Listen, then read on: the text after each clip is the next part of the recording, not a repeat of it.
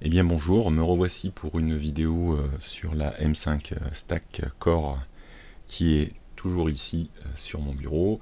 Euh, l'autre fois nous avions vu l'environnement Flow fourni que ce soit en ligne, je vais vous le remontrer, ou dans sa version desktop.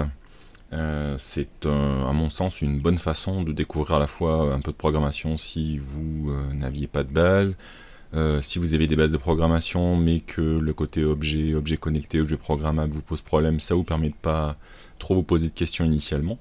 Mais comme certains me l'ont demandé, euh, derrière, certains voudraient aller un peu plus loin, euh, soit parce qu'ils en ont l'habitude, soit parce que c'est comme ça qu'ils veulent fonctionner, avec un langage, on va dire, plus classique. il faut savoir que la M5 Stack donc, est programmable avec l'environnement par bloc tel que vous le voyez là. Elle est également programmable par l'environnement Arduino avec euh, un langage qui est, euh, c'est une forme de C euh, adapté. J'en suis pas très fan, mais juste moi hein, personnellement, ça fonctionne très très bien. C'est avec ça qu'on a programmé des Arduino depuis des années.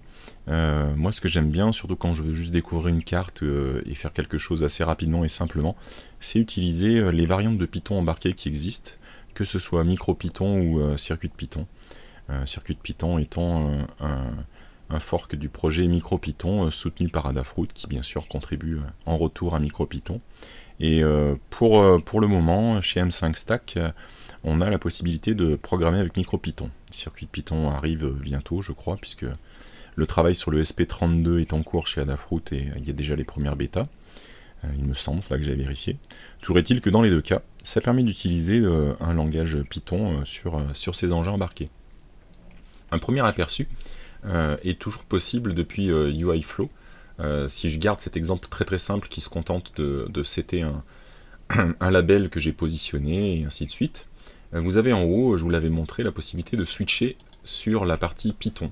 Ce qui vous permet, si vous avez quelques doutes dans votre approche de la M5 Stack, de, voir comment, quelles sont les API, quels sont les, instructions euh, possibles, euh, si par exemple vous vouliez euh, vérifier quelque chose qui est lié à la batterie par exemple, on peut, on peut voir qu'il y a un, certain nombre de, possibilités ici. Vous voyez, si je le rajoute là comme si je voulais l'afficher, automatiquement on voit que ici vous avez fait appel au module embarqué qui existe Power et qui a la fonction Get Battery Level par exemple.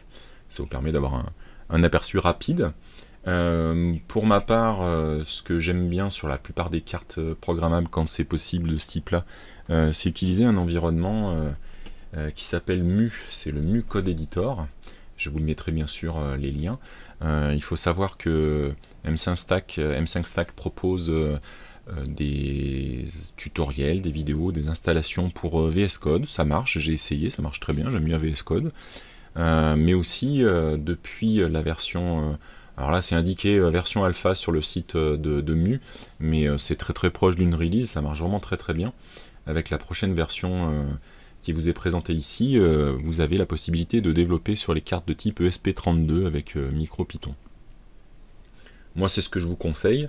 je pense que ça fera l'objet d'une autre vidéo, mais j'aime aussi beaucoup utiliser le, le projet Airshell, qui permet à la fois de se connecter sur un environnement embarqué, euh, de lui passer des programmes, de regarder ce qu'il y a sur, euh, euh, dans la mémoire comme fichier, éventuellement un accès au, SD card, il y a un tas de possibilités, c'est pas mal. Je, pense que je vous ferai une vidéo, notamment quand on abordera un petit peu tout ce qui est réseau. c'est tout de suite plus facile de créer certains fichiers comme ça, je vous montrerai ça.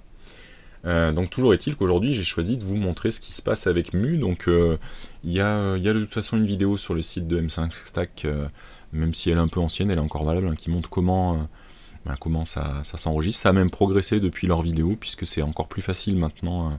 ça c'est vraiment très proche de la release, comme je vous disais chez Mu. Euh, c'est vraiment, on est quasiment au, niveau qu'on euh, qu'on a avec les autres, cartes. Donc moi je l'ai déjà installé. La seule particularité pour cette version alpha, c'est qu'elle est aujourd'hui téléchargeable uniquement pour les versions Windows et macOS.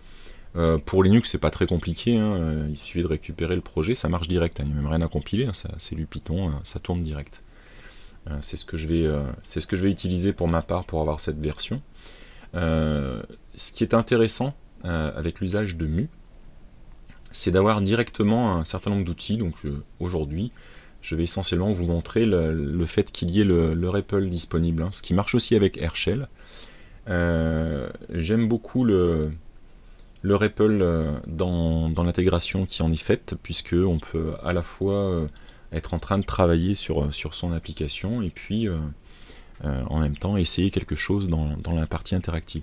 Donc là, ça ne s'est pas encore affiché parce qu'il y a quand même, je, si je me souviens bien, on va le faire ensemble, une petite astuce auparavant, au préalable. Sur la, sur la carte, vous allez la redémarrer et vous allez tout de suite passer dans le mode app qui, euh, si vous l'avez bien flashé euh, avec le bon micro Python, vous permet de, voir en fait la liste des fichiers déjà présents euh, exécutables. bon, pour l'info, le, tempi, je vous montrerai ce qu'il y a dedans tout à il n'y a pas grand chose, il y a un effacement d'écran essentiellement. Et vous le lancez, et à partir de là, en fait, le, le REPL est fonctionnel. C'est une petite astuce, je pense qu'il va soit faire l'objet d'une mise à jour, je crois, du firmware côté StackX, peut-être qu'il y aura quelque chose à rajouter côté mu, mais je pense que c'est StackX là qui va bientôt fournir un nouveau firmware. En tout cas, tel que, hein, vous rebootez, ce petit bouton sur le côté, vous passez en mode app, vous sélectionnez un des fichiers Python présent, euh, quel qu'il soit, il va s'exécuter, peu importe, et vous pouvez utiliser à partir de là le REPL. Donc le REPL, l'intérêt, euh, c'est aussi que de base, avec la M5 Stack, un certain nombre de modules sont déjà préchargés pour manipuler les, différents éléments, notamment euh, le, module LCD. Donc là, si, si j'appuie sur point et la touche tabulation, il va euh, me proposer un, certain nombre d'informations, de, méthodes ou de, constantes disponibles. par exemple, on peut utiliser la méthode texte qui va vous permettre à une position donnée d'afficher un simple texte. Voilà, donc là je suis en mode interactif, hein, d'accord. Euh, Je lance, et comme vous pouvez le constater, j'ai bien le texte qui s'affiche. Voilà. Donc ça permet vraiment d'explorer les, différentes possibilités. Euh, euh, bien entendu, le, site web de M5 Stack fournit l'ensemble des, API que vous pouvez utiliser. tout simplement, aujourd'hui, pour cette petite vidéo, je vous propose par exemple un peu sur la base de ce qu'on a fait l'autre fois, mais en utilisant une petite spécificité, vous allez voir, de, mu, assez sympa, on va observer ce qui se passe avec le gyroscope.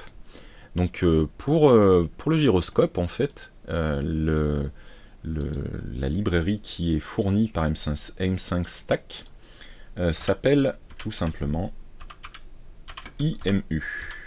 Voilà. Donc il suffit de l'importer. Au fur et à mesure je vais l'ajouter ici dans ce qui sera le programme je vous mettrai à disposition. Vous verrez sur le lien, je vous ai fait un petit GitHub où je vous mettrai tout ce qu'il y a euh, comme code dans cette vidéo et dans les suivantes sûrement. Euh, donc le module IMU, si je fais comme tout à l'heure, euh, avec une tabulation, on voit qu'il y a un certain nombre de méthodes pas forcément évidentes. Donc ce que j'ai fait, moi je suis allé voir la doc et je me suis aidé, comme je vous ai dit tout à l'heure, de la partie Blockly pour voir comment il utilisait ça. Et euh, l'utilisation euh, de cette librairie passe par un appel à, IMU, euh, cette fonction en majuscule, qui va vous permettre de récupérer en fait une instance qui va représenter votre, votre gyroscope, votre IMU. Donc nous avons cette possibilité-là, nous allons la stocker dans une variable. Et à partir de là, l'objet gyro va lui aussi représenter en fait toutes les possibilités euh, de, ce module. Euh, et il faut savoir, donc pareil, un petit retour par, par la doc, hein, vous pouvez accéder par d'autres moyens, mais pour ce que je vais vous montrer, il y a une constante. Allez savoir pourquoi elle a été appelée comme ça. Il s'appelle YPR. Et si j'appelle YPR, elle retourne en fait un tuple qui va représenter le X, le Y et le Z du gyroscope. Alors pourquoi je dis que c'est intéressant d'avoir un tuple? Euh, Parce qu'on va pouvoir utiliser une, particularité de, mu, euh, qui est d'avoir incorporé un, plotter qui va fonctionner à partir du moment où vous lui retournez justement des, tuples et qui va vous faire des, graphes de manière assez simple. Donc tout ce que je vous propose ici, c'est de, réaliser un petit programme qui va faire une boucle toute simple, qui va scruter l'état du gyroscope et renvoyer le tuple qui sera ensuite interprété par, par plotter. Donc on peut y aller par étapes, hein, mais si on veut pas non plus saturer, on va importer la librairie time pour faire un petit, euh, un petit délai entre chaque euh, récupération d'informations. On va créer euh, une boucle qu'on va laisser infinie dans notre cas. Et simplement, tout ce qu'on aura à faire, c'est d'afficher aussi simplement que ça l'état du gyro, comme on l'a fait jusqu'ici. Donc le gyro, il faut quand même pas que j'oublie au préalable de faire l'opération qu'on a fait euh, en le déclarant par le biais de la librairie IMU. On récupère l'instance et on va l'afficher, puis on va lui faire un petit time.sleep pour lui faire un petit délai euh, pour pas non plus euh, saisir. On va faire 0,1, ça doit pas être mal comme ça. Et puis, ben, je vais euh, l'exécuter pour vous montrer euh, ce qui se passe. Donc là, vous voyez que les, tuples défilent puisque le REPL est resté ouvert. Euh, quand le REPL est ouvert, il, affiche ce qui devrait être le, retour hein, de, la, console. Maintenant, si je ferme le REPL et que j'ouvre le, plotter, mais comme vous pouvez le voir, il y a trois courbes. maintenant, si je prends la M5 et que je la, bouge, vous voyez par exemple la courbe orange, en fonction de l'inclinaison gauche-droite, j'ai une variation. La courbe Y concerne cette orientation en bas. Euh, pour le Z, il faudrait, là j'ai pas bien de place, il faudrait que je, secoue la carte un peu plus, voilà. Ça ferait bouger un peu. Et donc là, avec quelques lignes de code, vous avez pu avoir directement, donc euh, petite astuce au passage, euh, si je remets le REPL, j'ai toujours le retour dans le REPL. Euh, et puis euh, on peut interrompre l'exécution du programme si on veut inspecter, euh, rajouter des détails, vérifier une information.